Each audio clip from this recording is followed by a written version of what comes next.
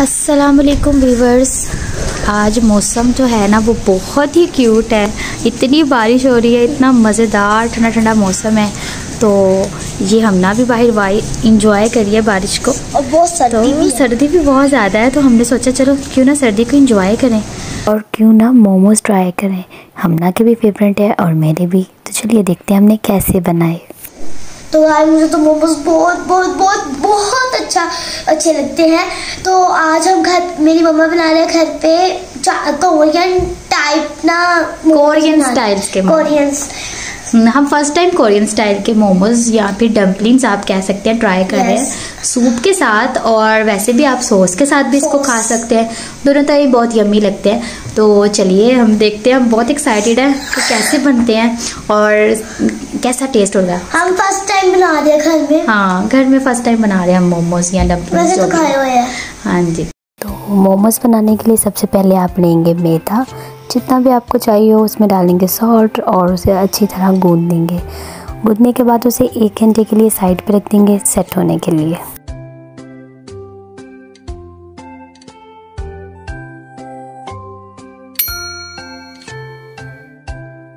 सबसे पहले हम बना लेंगे टमाटो की प्यूरी तो इसमें हमने टमाटो डालने हैं अपने मिक्सर में और जस्ट इसको ब्लेंड करना है। और अब फिर दूसरा जो स्टेप है सो इसकी चटनी बनाने के लिए तो हमें जो चीज़ें चाहिए उसमें कोरिएंडर है थोड़ा सा गार्लिक है और साथ में ग्रीन green है इन तीनों को मिक्स करके बस वो जो ग्रीन चटनी बनानी है ना बस वो बनानी है और उसको फिर टमाटो प्यूरी डाल देनी है। तो हमारी मोमोज की चटनी रेडी हो जाएगी। तो चलिए स्टार्ट करते हैं। ग्रीन ग्रीन हमने टमाटो प्यूरी जो बनाई हुई थी अब उसके ऊपर बबल्स आए हुए हैं। ये वाली जो ग्रीन चटनी है वो डालेंगे। और मैं मिक्स करूँगी। सारी मिक्स नहीं करनी मैं खुद ही डाल। एंड जी ये और ग्रीन सॉस भी डालनी मोमो की मज़ेदार सी चटनी रेडी हो गई है। अपनी पसंद की कोई सी भी फिलिंग्स डाल सकते हैं। मैंने यहाँ चिकन में सोया सॉस सिरका salt red chilli and spring onion add किया और फिर बारी आती है मोमोज को शेप देने की तो इक्वल पार्ट्स में आटे को काट लिया और मोमोज की शेप दे दी।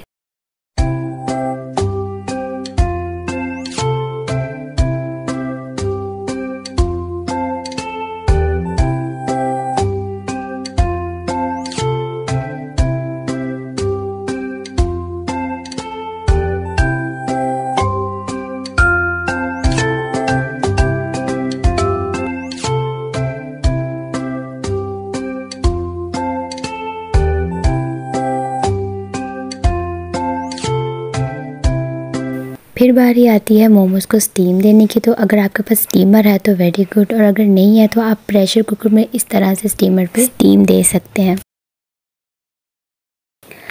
आफ्टर 15 और 20 मिनट आप इसे खोलें तो ये बहुत ही यमी और मज़ेदार सी लुक के साथ तैयार हो गए हैं और देखने में तो बहुत मज़े के लग रहे हैं।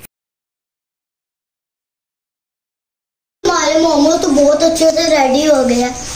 बहुत ही और हमारी मेहनत लग रहे हमारी हैं। मेहनत भी बहुत बहुत अच्छा बच्चे का मोमोज का बच्चा। ये तो बीच में ना ये मोमोज का बेबी है। ये मैंने बनाया। मोमो का बेबी मैंने बनाया। बेबी मामा। मुझे खा लो मुझे खा लो। ये बैरी के लिए मैंने बनाया।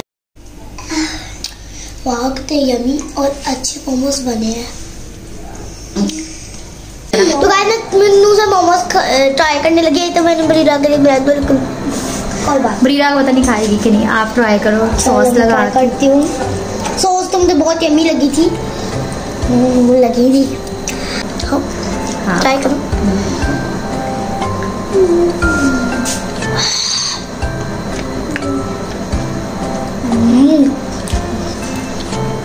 बहन जी मुझे भी ट्राई करा दो। बहुत है यम्मी है। बताया ही नहीं। है। आप बहन जी मोमोज खा ले। बस बहन जी। वो सारा ही खा गई। हाँ।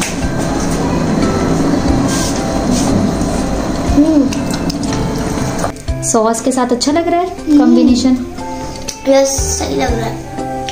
चलिए अब हम सूप का ट्राई करते हैं। सूप बनकर रेडी हो गया। अब हम इसमें मोमोज मोमोज डाल डाल कर तो सूप के साथ ट्राई करेंगे कि कैसे लग रहे हैं। ठीक है? चलें हम इसे डिश आउट करते हैं। मैं खाली भी खा रही हूँ। मोमोज मोमोज ही मोमो मोमो। वन को कहते हैं मोमोज सूप हमने बाउल में डाला है। इसके अंदर हम डालेंगे एक मोमो। और इसके ऊपर हम डालेंगे थोड़ी सी. रेड चिली चलो। अब हमना खाकर बताएगी कि कैसा बना। हमना को तो बहुत ही मज़े के लगे उसने तो बहुत सारे मोमोज खा लिए। तो आप भी ज़रूर ट्राई कीजिएगा और हमें बताइएगा कि आपको कैसे लगे।